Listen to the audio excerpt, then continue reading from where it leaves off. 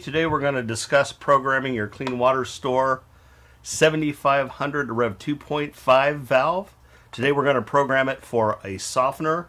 This could also be used for a tannin system. So the first thing, uh, after you're plugged in, your screen will be locked. So to unlock the screen, the first thing you need to do is hold the up and down arrow buttons at the same time. You'll hear the system beep. Now it's unlocked and you can go ahead in, in the programming mode. I should mention there's two levels of programming. This is the basic programming level. The second programming level is what we do here in the shop to actually set the system up for you. So the first thing we're going to do is push this uh, first button here, the little box with the arrow to the left. So this punch you in, you've got company info, so you can scroll down time of day. So let's set the time of day. We'll go ahead and push this button and you scroll up and down 1 p.m., 2 p.m., also note if you want to go to AM, you need to scroll all the way to 12 and then back it'll go to AM at 1, 1 a.m. So anyway, set this for what, where you uh, want your time and then go over to here. You can set the minutes, push it again, and you go back to your, uh, your programming screen. And just like the time, you can go to the date. So here's showing the date and you go ahead and We'll set this for today's uh, the uh, month 9, the 28th, and it's 2022. Pop back out. Next one's total capacity. So this is set here in the shop. This basically dictates what size your system is. In this case, this is a 32K grain system, or 32,000 grains, uh, that it will remove hardness. So you can program this to a 40 or 50, whatever your size system is. Again, this will scroll you over and then back to the, the main screen. Water hardness. This is one you're going to want to set. So we set this at 15 grains here at the shop. Uh, that's a conservative number. So you might be able to uh, benefit from finding out what your true hardness is either by testing or if you're on City Water, you can uh, look up their website. Most City Water is around between 13 and 15 grains. So you can adjust this and uh, you know adjust your set, setting there for your water hardness. Number of people, this is set here at four. This is just kind of a standard. These are standard residential units.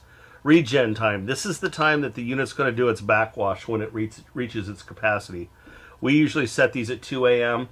Also note if you have multiple systems, you need to change, uh, you need to stagger those by an hour. And always run your softener regen last because it takes a little bit longer than an hour. Okay, so uh, backwash time, this is going to be set for 10 minutes. Brine draw time, this is the amount of time that the brine solution is drawn out of the brine tank. That's set at 60 minutes. Fast rinse, that's where it recompacts the media. The water goes down on the top of the media. That's uh, 8 minutes and then your brine refill time. So this is going to be dependent on your brine line flow control that's installed and your system size. But this amount, you'll basically get the correct amount of water back in your brine. So you're going to need to look at your guide for that correct time, but uh, we set it here at the shop, so you shouldn't need to change that. Okay, max days for regen, 30 days. So that means if you're on vacation uh, and you're not home for 30 days or you don't use enough of the water, uh, it will regen every 30 days just to make sure the resin bed is um, cleaned out properly and doesn't compact. Uh, the daily usage lot log, that's kind of a neat thing. It'll just show you what your water usage was for the last several days. And peak usage is the same thing, just kind of for information only. Okay, so once you've got all your set parameters set, you'll hit that second button with the finger pushing up like this with the arrow to the left and then push that one more time and that'll come out into the service mode. You know you're in the service mode where it says water system and it's in service. It's showing 1300 gallons left before regen and the current flow rate is uh, 0 GPM. So that is basically it for the standard programming that you at home should do. Uh, if you did want to get into the master programming, there's instructions in your startup guide for that but I'll quickly show you where you can uh, how you can do that. You'll unplug the system, let it sit for a minute or two. Plug it back in, push the first three buttons. This puts you into the master programming uh, mode. Then you come in here, it still has the time of day and the date, but you'll see there's program type, regen cycles. This is where you set your filter up or your, your control valve up for a filter or a softener or an air uh, valve.